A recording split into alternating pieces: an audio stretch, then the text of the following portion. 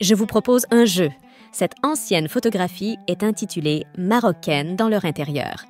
Saurez-vous reconnaître tous les éléments artisanaux traditionnels qui la composent? Dites-moi dans les commentaires.